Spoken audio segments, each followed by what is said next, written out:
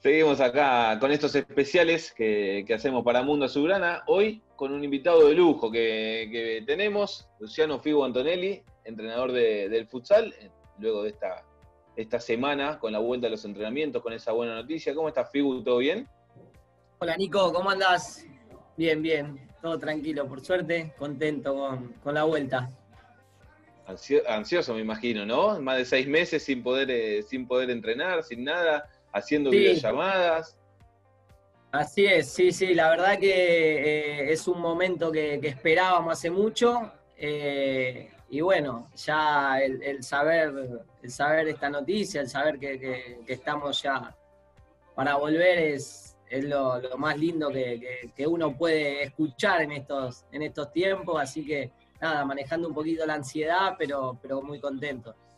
¿Y cómo es eso, digo, de, volver? Porque digo, hay que descontracturarse un poco, ¿no? Porque hay que respetar un montón de protocolos, de no abrazar a nadie, del codito, de, la, distancia. Eh, ¿Cómo lo manejan? Sí, a ver, eh, es, eh, es, muy raro todo porque uno tiene que estar con, con barbijo, tiene que estar...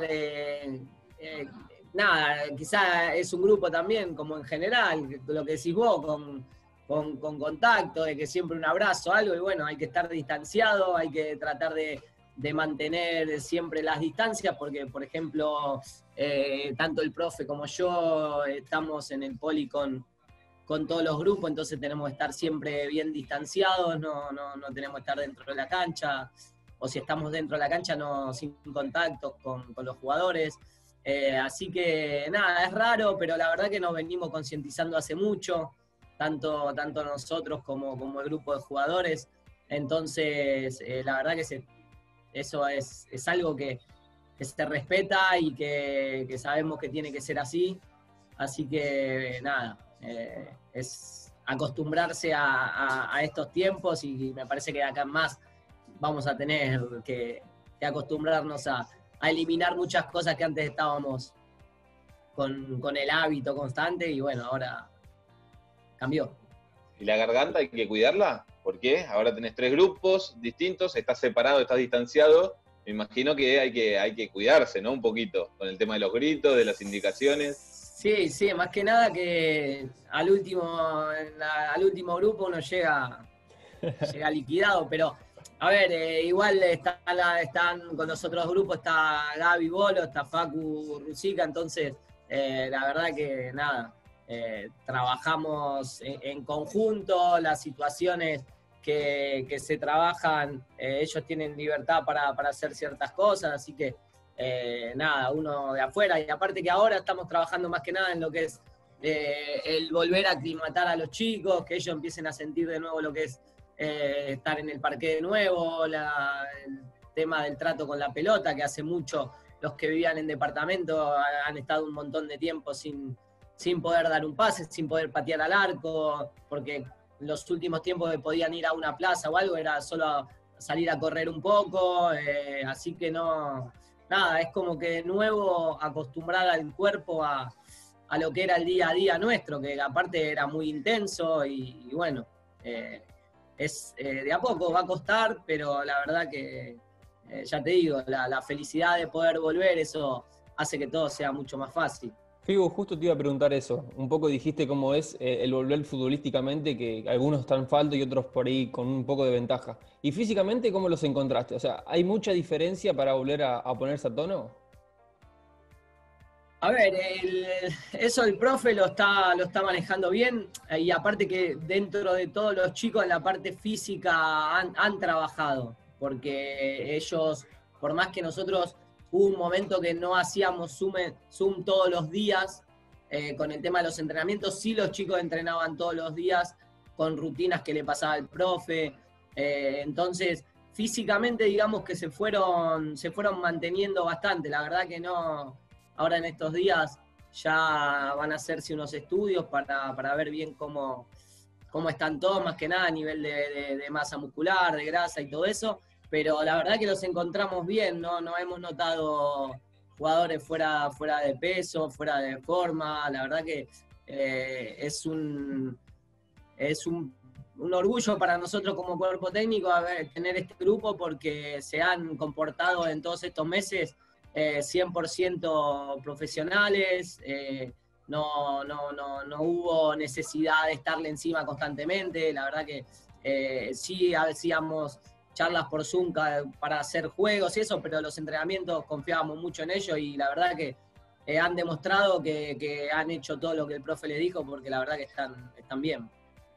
Pigu, ¿cómo hicieron y, mantuvieron la motivación de los chicos? ¿no? Porque si uno se vuelca a lo que fue el arranque del año para ustedes, fue muy bueno con la obtención de, la Supercopa y se venía algo lindo como la Copa Libertadores, el torneo, la Copa Argentina misma, e intentar eh, seguir por la senda del triunfo y el tricampeonato, ¿por qué no? Eh, pero ¿cómo los notaste al, equipo, al grupo, eh, en cuanto al ánimo con este, con este largo parate que tuvieron?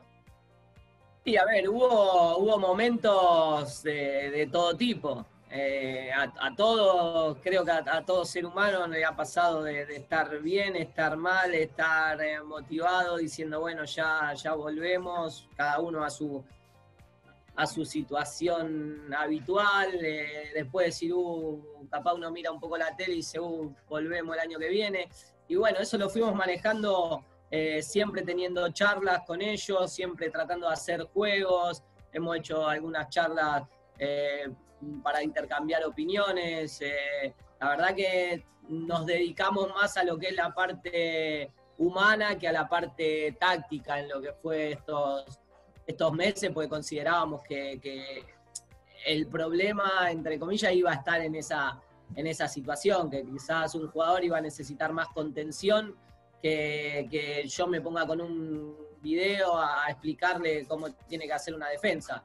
Eh, así que nada, de parte del grupo eso fue, fue también eh, valorado porque a ellos se les hizo más, más leve todo y no tenían que estar todo el tiempo pensando en, lo deportivo. Entonces, eh, creo que, eso fue un, acierto que, que tuvimos. Y, hoy por hoy tenemos a los chicos despejados a nivel mental y con muchas ganas y sí de a poco iremos ya eh, metiendo cosas, cosas tácticas para ya prepararnos en caso de que, de que haya una competencia. Lo mismo, pero para ustedes, digo, ¿y cómo manejaron como cuerpo técnico? todos estos meses? Porque ustedes están animando, preocupándose por los futbolistas, eh, pero ustedes también tienen que reivindicarse en un montón de cosas, estar, apoyar y, planear eh, en algo que no tocó vivir a nadie.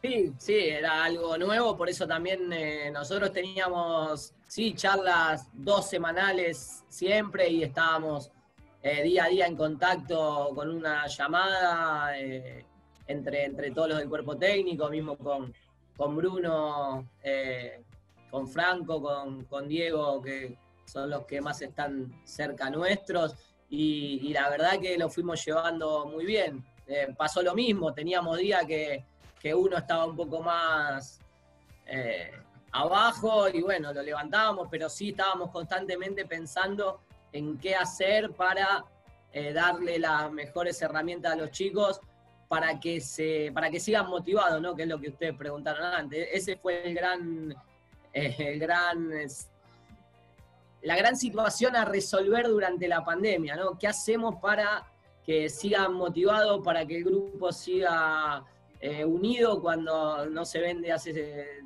cinco meses, seis meses? Y bueno, eh, ya te digo, hicimos juegos, el que ganaba le mandábamos un premio a la casa, no sé, un kilo de helado, un paquete de yerba. Eh, hemos hecho distintas situaciones. Caja de alfajores, han llegado. Eh, sí, sí, sí, Así que bueno, nada, ya te digo, desde ese punto lo, tratamos de, llevar, buscando variantes como para que, para que el grupo se sienta unido a pesar de estar frente a una, a una cámara, ¿no? Pigu, eh, a uno que tiene la suerte ¿no? de, poder estar ya hace un par de años eh, cubriendo de cerca el futsal de, San Lorenzo. Eh, yo siempre digo que son una gran familia y, escuchándote hablar a vos un poquito sobre lo del cuerpo técnico, sobre todo hablando de, los Calabria, eh, uno si abrimos un poquito más el juego, podemos hablar de, que Maxi, el cabezón, el entrenador de arqueros, también es un amigo de ustedes de la infancia, los Aluski mismo, si, vamos para el senior tenemos al Tini Sarik, y mucha gente. Eh, yo creo que para ustedes, eh, el hoy por hoy, seguir ligados a San Lorenzo también es bueno. Y, pese a esta pandemia que les, que les tocó ahora atravesar, eh, el ser amigos ya desde chicos también los ayuda. Sí, sí, a ver, nosotros siempre lo, lo hablamos y a ver, todos los que nombraste vos nos conocemos de los siete años. Eh, o sea, arrancamos y nos conocimos en San Lorenzo, porque nos conocimos jugando en infantiles cuando teníamos, eh, algunos han llegado a los siete, otros a los ocho, otros a los nueve, pero de los nueve en adelante hemos jugado juntos, eh, tanto al Babi, que jugábamos en ciencia, como después en San Lorenzo, y por ejemplo con, bueno, Maxi, Bruno, Franco, todo lo que sí, compartimos 10, 10, 12 años jugando, viéndonos todas las tardes, siendo amigos. Y bueno, esa amistad continuó y después nos llevó a, trabajar juntos. Y, aparte de lo bueno que tenemos es que, eh, a ver, somos amigos, pero cuando hay que trabajar, hay que trabajar. O sea, nos matamos entre nosotros muchas veces en charlas o porque tenemos distintos puntos de vista y está bueno porque uno escucha al otro y bueno, y, llegamos a, la conclusión que lo primero es San Lorenzo y todo lo que hacemos es, para poner sobre todo el, club y, lo personal queda siempre de lado. Entonces, me parece que eso, eh, tanto como dijiste vos, de los dirigentes, el cuerpo técnico y representado dentro del plantel con un jugador como Damián que baja todo eso para, el resto del grupo, la verdad que creo que es algo que, bueno, los resultados eh, están ahí, ¿no? Eh, a ver, eh, sumo a Facu, que lo conocimos, no, no es amigo nuestro de chico, pero apenas llegó, se incorporó a ese, a ese grupo, esa dinámica, y bueno, realmente, como dijiste vos, es un grupo que, piensa primero en, San Lorenzo y después en, todo lo demás, y bueno, hacemos, hacemos todo con, con esa pasión y la profesionalidad que, que sabemos que tenemos que tener para representar esta camiseta. Creo que después vamos a hablar un poco del momento actual de San Lorenzo, todo lo que se les viene, cómo van a ir entrenando y demás. Pero hablando del grupo, y que vos sos la cabeza del grupo, eh, ¿qué te sirve o cómo lo experimentás y lo trasladás tu experiencia en Europa? Me sirve eh, entender lo que, lo que quiere el jugador y lo que necesita, en el sentido de que muchas veces eh, uno cuando está del otro lado eh, empieza a, querer decir, bueno, vamos a hacer esto, esto, esto, esto. Y, yo, con el pasar de los años, no, son muchos los años que estoy dirigiendo, pero acá en San Lorenzo, cuatro años como, como ayudante, estuve tres, y bueno, y me tocó el año pasado por, por la situación de Facu quedar como entrenador, pero sí eh, valoro mucho de, lo que hice en Europa, de los entrenadores que tuve, eso, que me enseñaron, algunos, no todos, pero sí los que tuve y me quedó mucho, que eh, uno tiene que entender primero lo que le está pidiendo al, jugador. O sea, yo no puedo eh, pedir algo que, porque bueno, a mí me gusta, pero no, por más que a mí me guste, si yo no tengo los intérpretes para hacer eso, no lo puedo pedir. Entonces, eh, creo que esa experiencia que, acumulé eh, es lo que me lleva a, tratar de entender qué pasa adentro.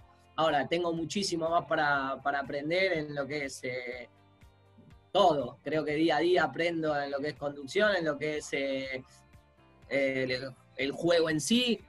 Y eso, bueno, al, tener un plantel como el que tenemos, se hace todo mucho más, más simple porque, bueno, hay, jugadores que eh, entienden ya el juego. Sí, quizá la dificultad está en que son exigentes al 100%, entonces uno tiene que estar preparado para, para poder eh, enfrentar lo que ellos, lo que ellos eh, exigen, ¿no?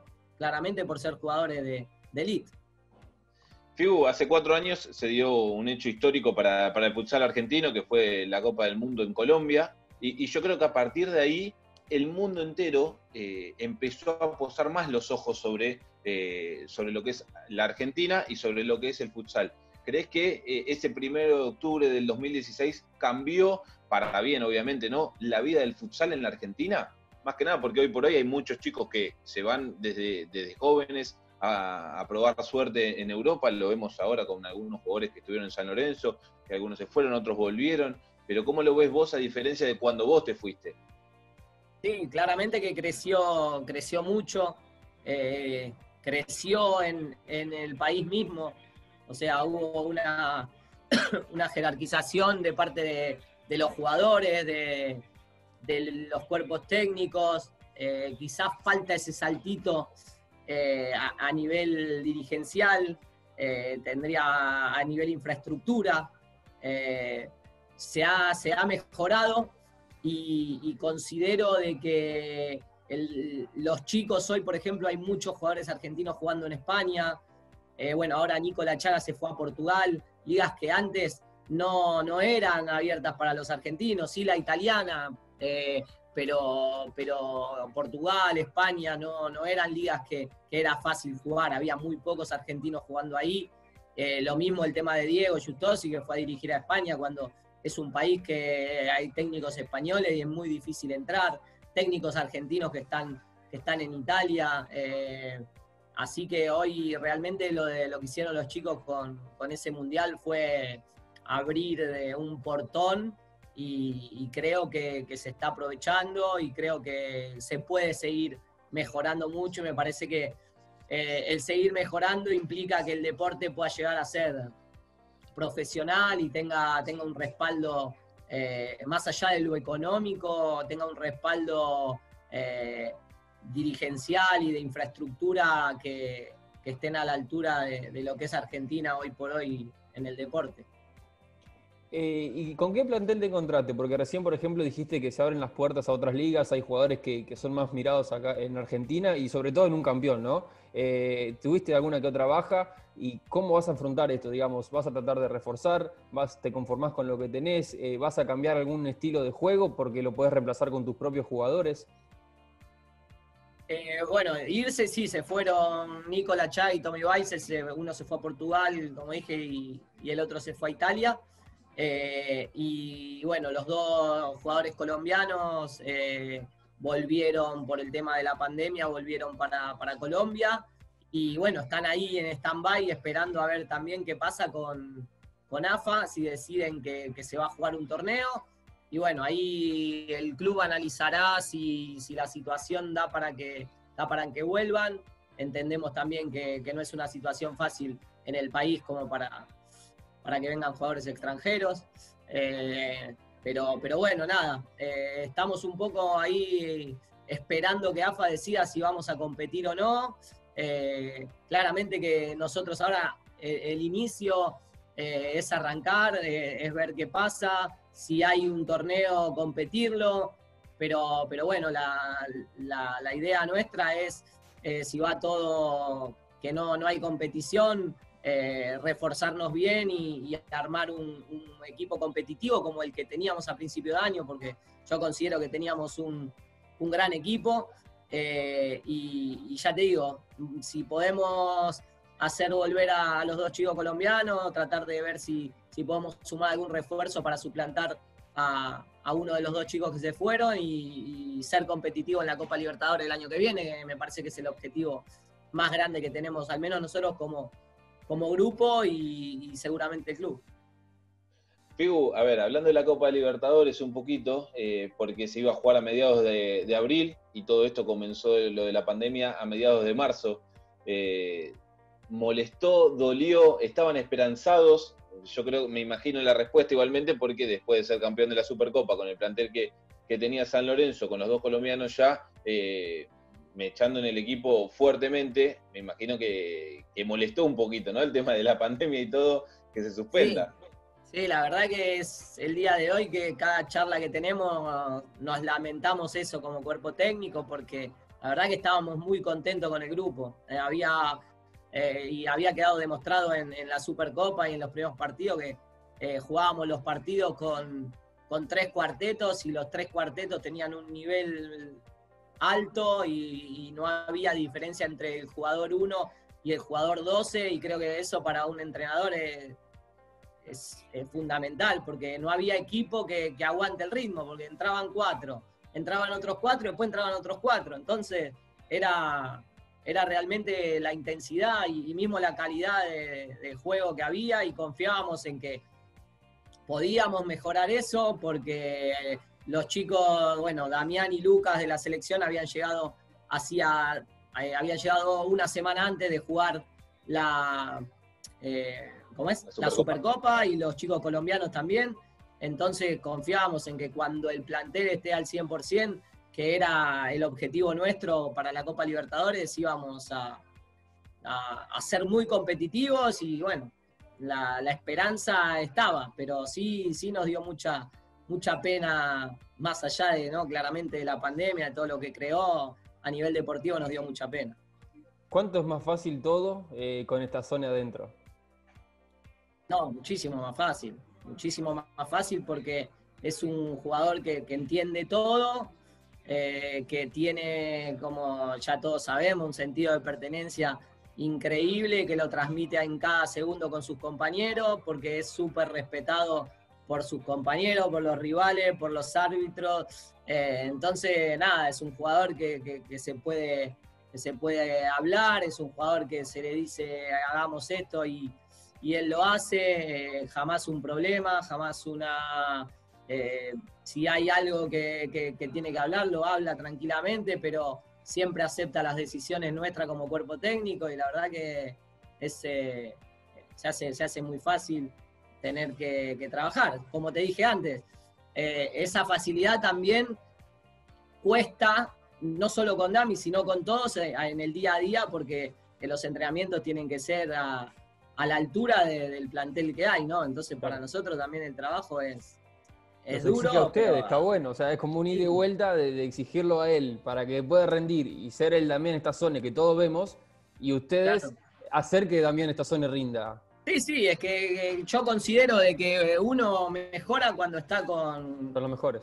Con gente que, es eh, igual o mejor. Eh, entonces, eso es lo que nosotros apuntamos, a que haya un grupo de, de 12, 15 jugadores y que entre ellos eh, se, exijan que los entrenamientos, la verdad que muchas veces nos sorprendíamos del nivel que tenían porque eran entrenamientos realmente de, alto nivel, porque todos querían ganarse los minutos, siempre con, con respeto, apoyándose, ayudándose, la verdad que eh, no por, por, decir algo así, por, por hablar, pero realmente es un grupo que es excelente, es excelente. Y, bueno, hay una base de hace cuatro años que fue construida cuando, cuando todo esto arrancó. Eh, ahí se fueron sumando algunos, algunas personas, fueron cambiando, pero la base siempre fue la misma y bueno, es como que se creó algo que se pueden cambiar los intérpretes, pero el que, el que se suma sabe a dónde se suma y sabe cómo tiene que, que comportarse y nosotros también tratamos de buscar jugadores que sabemos que se pueden adaptar a, lo que es San Lorenzo. Fibu, eh, el año pasado consiguieron algo eh, muy importante como el torneo, pero dentro de esas finales, San Lorenzo quebró una racha larga eh, con un triunfo, un triunfazo podríamos decir, en la cancha de Boca. Después toca ir al Polideportivo, repleto, y se da la caída en la segunda final, cuando todos esperábamos que sea el festejo en Boedo.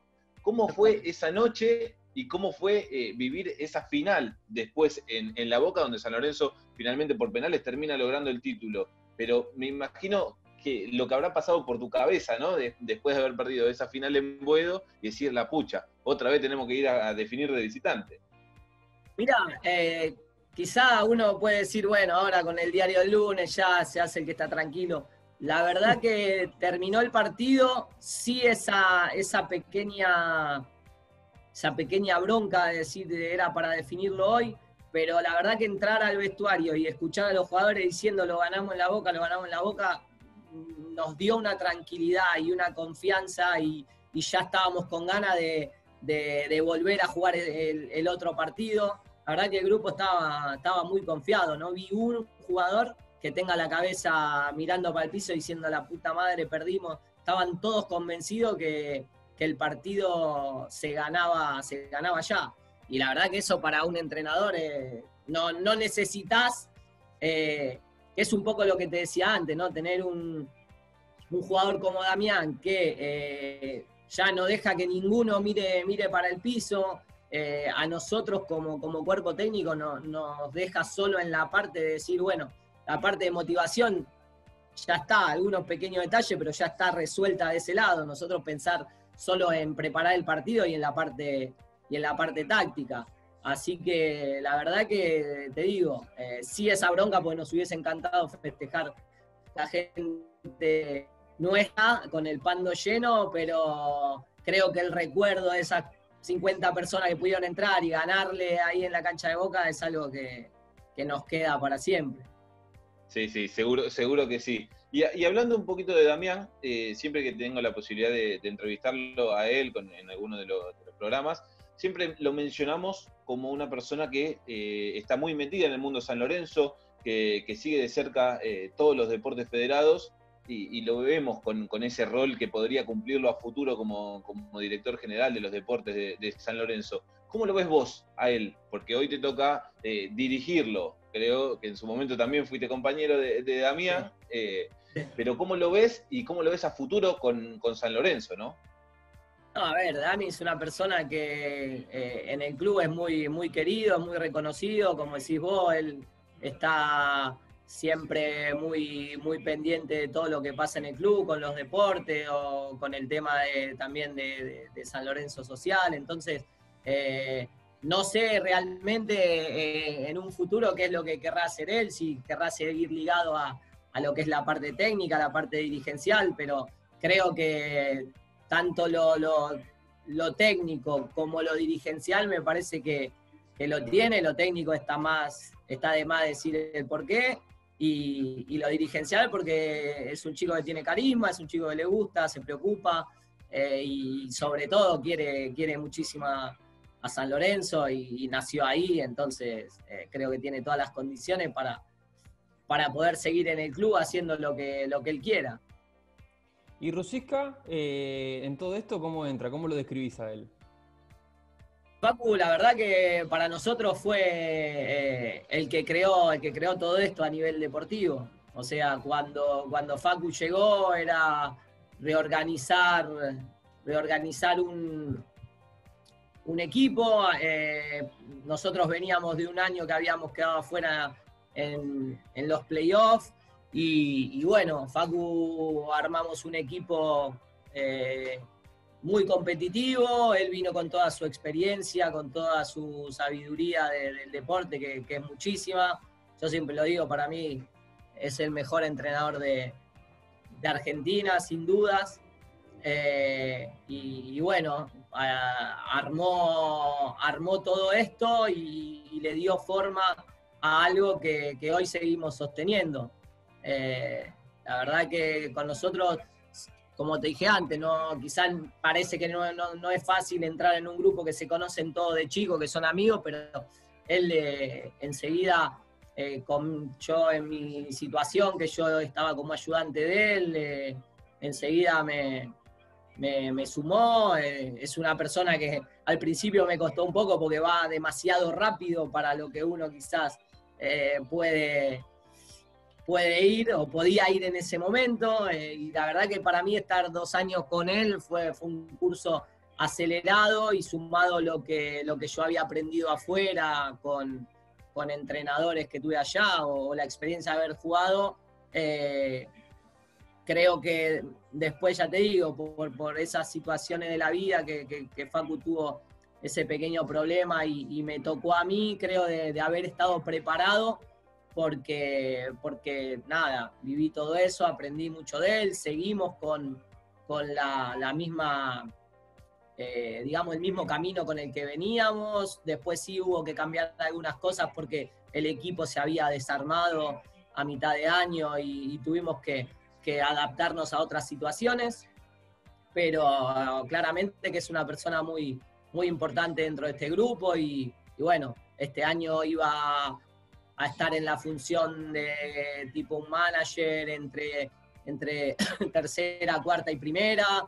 Eh, y bueno, el tema de la pandemia nos llevó a que no se pueda cumplir esa función, así que bueno, ahora está dándonos una mano ahí con el tema de, los entrenamientos para, para que esté también trabajando con nosotros y, y bueno, sigamos de acá a fin de año todos juntos.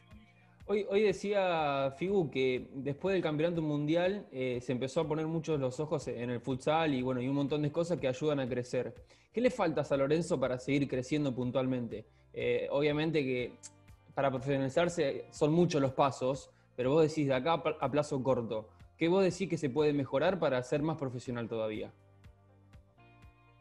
Mira, la verdad que a nivel, a nivel San Lorenzo te digo que no, no nos falta nada a nivel San Lorenzo no nos falta nada, tenemos una, estructura espectacular, tenemos eh, dirigentes eh, que, nos están encima, que no nos hacen faltar nada. Eh, los chicos, ya te digo, salvo ahora, podíamos entrenar por la mañana porque todos, todos vivían del futsal. y la verdad que, ya te digo, el club siempre nos ha brindado todo. No, no. Creo que si hoy eh, preguntás a cualquiera, un club profesional de, futsal, sin que tenga, eh, eh, digamos, el nombre de, que sea, es San Lorenzo. no, no. Ya te digo, el Pando es un lugar que no tiene ningún equipo de, la Argentina.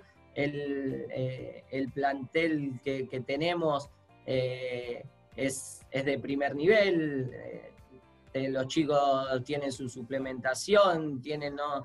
Eh, teníamos el año pasado eh, psicólogo a disposición, eh, bueno, seguimos teniendo, ¿no? Después tenemos todo, todo lo que puede tener un plantel profesional lo, tiene, lo tiene San Lorenzo, así que de parte nuestra me parece que no, no, no, no necesitamos más nada.